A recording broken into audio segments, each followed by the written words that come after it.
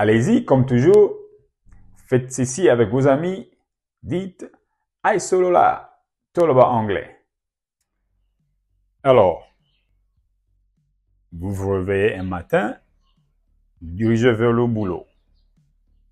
Et arrivé au boulot, il y a une urgence qui se présente à la maison, vous avez laissé la famille. Vous ne parlez pas bien l'anglais, vous devez expliquer cela à votre manager. OK?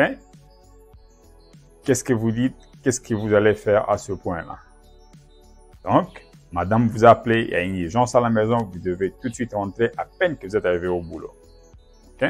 So, donc, vous allez chez le manager, vous allez le voir. Si par exemple, il s'appelle John, il s'appelle Jean par exemple, vous allez dire, Hello John, I want to let you know that I have an emergency. I have an emergency. I have to go home. Donc, j'ai une urgence, je dois rentrer à la maison. Il peut vous poser la question de savoir c'est quoi qui se passe ou c'est quoi qui se passait.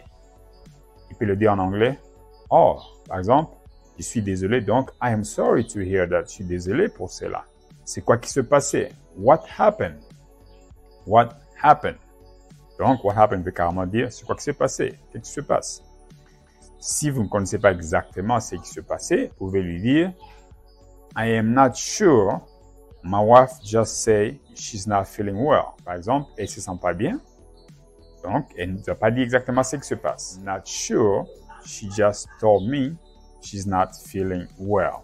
Donc, elle m'a juste dit qu'elle ne se sent pas bien. Donc, c'est pourquoi vous devez rentrer.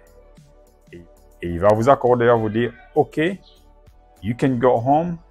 Please update me. Donc, ça veut dire, allez-y, vous pouvez partir, mais faites un effort de me tenir au courant, de me dire ce qui se passe. Et vous allez dire, OK, thank you. You vous dire, you're welcome. Et puis vous dire, have a safe trip, have a safe drive home.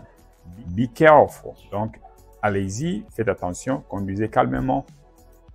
Et voilà, merci. Faites ceci avec vos amis.